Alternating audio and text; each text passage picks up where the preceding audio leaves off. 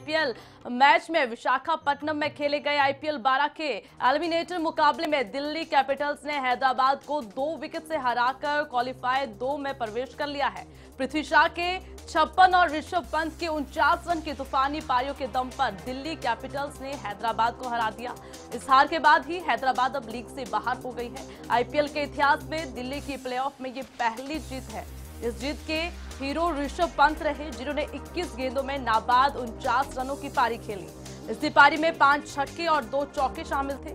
उन्होंने इस पारी के लिए मैन ऑफ़ द मैच के खिताब से भी उन्हें नवाजा गया है। वहीं पर बात अगर करें खिताब की तो दिल्ली इस खिताबी जीत से महज दो मैच दूर है। क्वालिफाई दो में दिल्ली का सामना अब चेन्नई सुपर किंग्स के साथ होगा।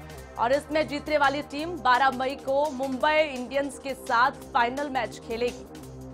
तो आपको बता दें, आखिरी ओवर में काफ़ी अच्छा प्रदर्शन दिल्ली का रहा है और दो विकेट से हैदराबाद को दिल्ली ने हराया, जिसमें ऋषभ पंत ने तूफानी पारी खेली है। नाबाद रनों से ऋषभ पंत ने दिल्ली को जीत दिलाने में अच्छा सहयोग दिया है। और बता दें 21 गेंदों में उनचास रन की उनचास रन ऋषभ पंत की ओर से बनाए गए हैं और साथ ही मैन ऑफ़ द मैच का खिताब भी ऋषभ पंत ने अपने नाम किया। तो बता दें, दिल्ली की प्लेऑफ में ये पहली जीत है और अब दिल्ली का मुकाबला होगा चेन्नई सुपर किंग्स के साथ। उसके बाद दोनों में से जिसकी भी जीत होगी, उसका मुकाबला मुंबई इंडियंस के साथ होगा।